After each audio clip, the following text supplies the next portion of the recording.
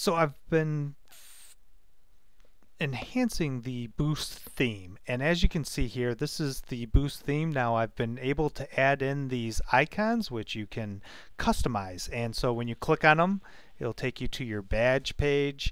If you go to the calendar it takes you to the calendar. This is a common theme um, that that we like to include when um, uh, in the Pioneer and Evolve D theme. You'll notice that we have a custom text box and then just below that it's this is now the um, default um, front page settings. So I have the course search box followed by the enrolled courses option for front page. Now you'll notice that we've utilized this um, uh, header image up here at the top and when you go to another course it instantly changes. So the teacher can upload uh, an image into their um, course files right here under Edit Settings. You'll notice that they can upload an image right here, and that is what the, the theme utilizes for this top part.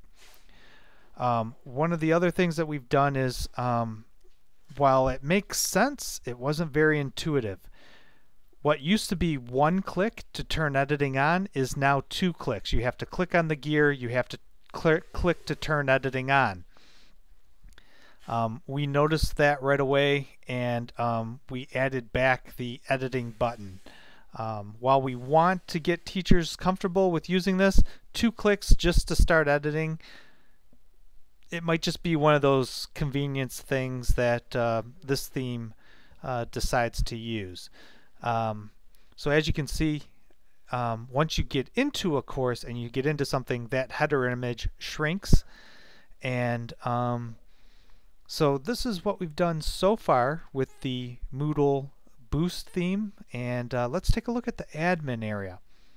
So what we've done is we've actually, um, the default admin has the preset picker and the brand color. Now we've added the background color, uh, breadcrumb background color, navigation bar background color. So we've added back in some color pickers along with the custom text.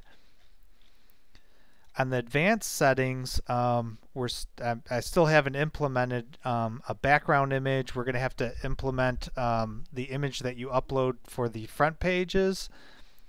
Um, and we've added in the icon navigation. So that's all working from here too. So this is just a little bit of the progress that we've made um, in preparing for Moodle 3.2. And uh, we're really excited about this theme and, and what it does and what um, the ease of use that it brings for um, teachers. This is a, a, big step forward. We, we really like um, uh, the, the way that it's going here. So um, this is our theme. We're unnamed, but we're basing it off of Boost and hope to have it ready shortly. Thank you. Bye-bye.